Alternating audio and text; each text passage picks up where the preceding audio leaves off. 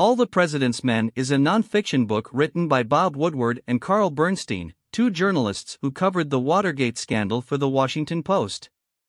The book details their investigation into the Watergate break in at the Democratic National Committee headquarters in 1972 and the subsequent cover up by the Nixon administration.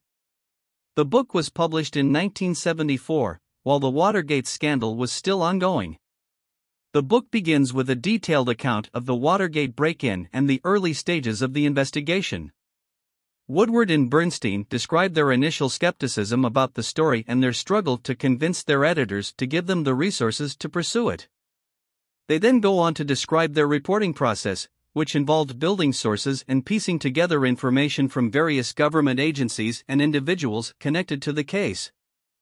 Throughout the book, the authors reveal the many obstacles they faced while investigating the story, including resistance from government officials, threats from anonymous sources, and pressure from their own newspaper to back off the story.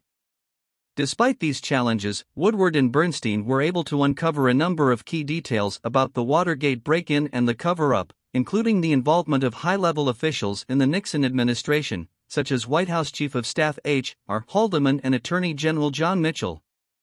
The book also provides a behind the scenes look at the inner workings of the Washington Post, including the role of editor Ben Bradlee and the newspaper's legal battles with the Nixon administration.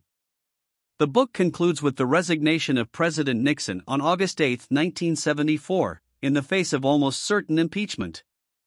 It also notes that many of the key figures in the Watergate scandal were later convicted of various crimes and served prison time.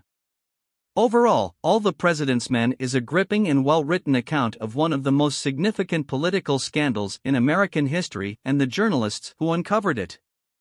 It is considered as a classic work of investigative journalism and continues to be widely read and studied today.